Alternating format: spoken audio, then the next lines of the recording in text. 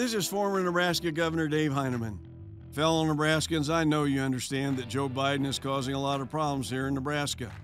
Wide open borders are causing drug overdoses to spike in Omaha. The cost of everything is up more than 20%.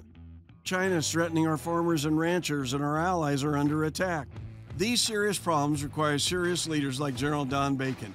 I know Don Bacon personally. He served nearly 30 years in the United States Air Force. He's a workhorse.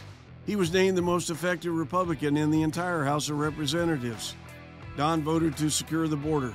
He wrote and introduced the Back the Blue Act to protect our police from violent criminals. And he's leading the fight to ban China from buying Nebraska farmland.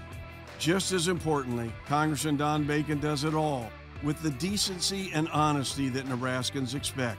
That's why on May 14th, I hope you'll vote for Don Bacon. I'm Don Bacon. I approve this message, paid for by Don Bacon for Congress.